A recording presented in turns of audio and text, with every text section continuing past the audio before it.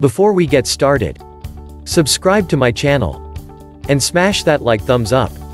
Do you often hear the term vulnerable population when healthcare talks come up? The term is used a lot during healthcare debates. Do you understand exactly who they are referring to when they say vulnerable populations? Since the word, vulnerable can take on many meanings, let's get a clear meaning for the phrase, vulnerable populations in healthcare. In this report, the term vulnerable population will mean people who are ill and dependent on clinic care, economically disadvantaged, children, seniors, ethnic or racial minority, non-English speaking and more. They can be in groups such as prisoners or Native Americans. The entire population of these groups are not always vulnerable to health outcomes.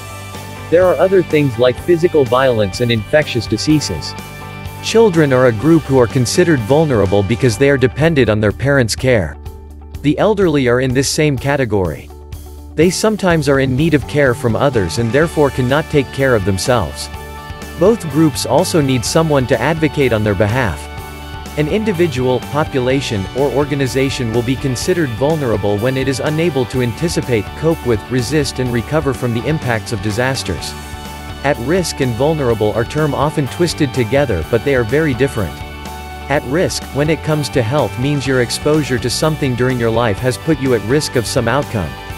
Vulnerable is your present status or gender or age. In the case of non-English speaking Americans, they are considered vulnerable or at risk because of the possibility of a language misunderstanding. This can happen often with first responders.